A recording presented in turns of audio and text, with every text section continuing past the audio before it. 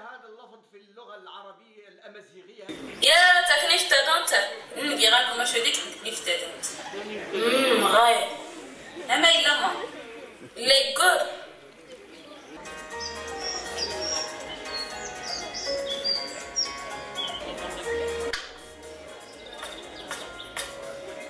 الفيلم كذلك كان يهدف إلى إحياء اللهجة المحلية الأمازيغية حيث أن اللهجة هذه تعرضت يعني الكثير إلى كثير من التدخلات بالمصطلحات بالفرنسية وبالعربية.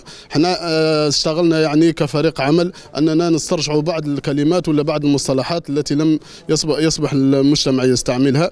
الحمد لله وفقنا إلى حد ما في هذا المشروع. بمناسبة عرض أول فيلم باللغة الأمازيغية باللسان الورقلي هنا بدار الثقافه اهدافنا كانت من خلال هذا الفيلم هو تسليط الضوء على العادات والتقاليد بالنسبة لساكنة المدينة القادمه بالقصر العتيق ورقلها وإبراز الموروث الثقافي المادي ولا مادي؟ كان عمل فني رائع لولاية ورقلة موروث ثقافي أمازيغي نفتخروا به بزاف.